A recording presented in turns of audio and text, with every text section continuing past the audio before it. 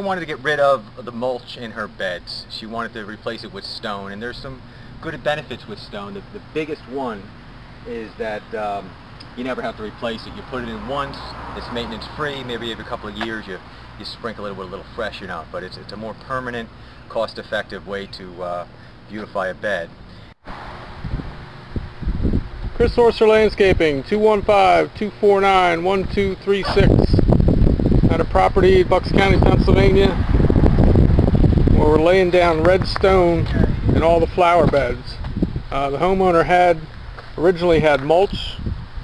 The crew removed all the mulch from the beds and is in the process of laying down red stone.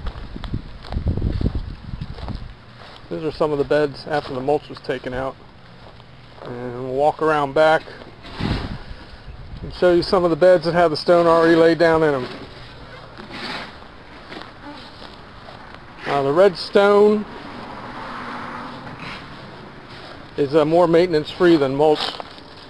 Uh, put it down once, you don't have to come back each year and, and put new mulch down. Uh, here's one of the beds where the stone's being laid.